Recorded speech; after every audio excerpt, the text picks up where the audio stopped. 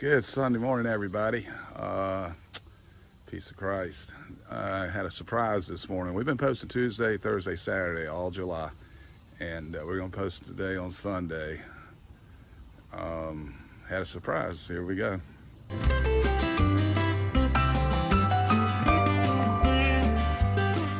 Well, good morning, everybody. Um, this is a lesson I didn't want to get into this year, but now we're here. So I get up this morning, doing my walk through, eyeballing what's up, and I notice, uh-oh, defoliation. I've got hornworm. That's what I'm thinking. Also getting attacked by wasps and bees. Thank you. Um, can you see him? It's on the camera. Let's see.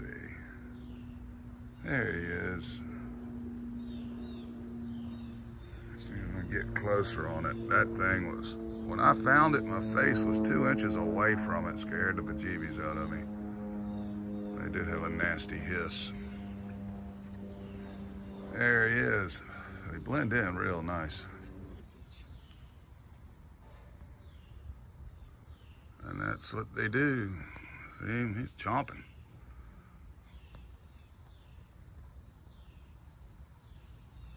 So, cut that branch off and burn it. If you look right there, you see this black, looks almost like uh, scat. It's actually the larvae. Cutting that off. Chop, chop, chop, chop. Burn, burn, burn. Not too bad, really. I mean, the scene, I was getting ready to say I've seen worse, and then Beth says she found another one.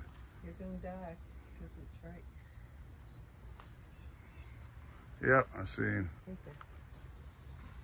I was just out here. I couldn't find them. So, let us take. Well, we'll take off what we can see. This is another reason you need to come out. Check your maters regularly. I'll tell you this, if you had this kind of stand and went on vacation and had an outbreak, you could come back and this entire plant be gone. if it's bad enough, I'm not kidding you. Now this, that, that leaf, that's where the eggs were and it slid off. So I had to go back and check, make sure they weren't laying somewhere else on the uh, tomato or even the pepper. There's two of them. If you can see, I think you can see it on this one.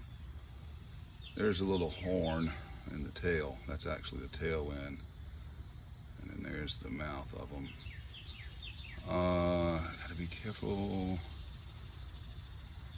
There's certain ways you can get that thing to start hissing. I'll say it that way. and it's pretty gnarly, man. It's like a little dragon. Uh, but I'm just gonna extricate this and get it away.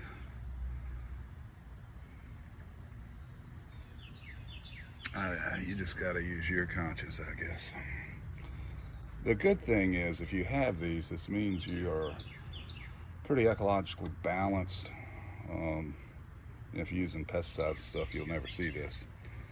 So, that's how we're dealing with it. That's another thing. It's good to have two people or more looking.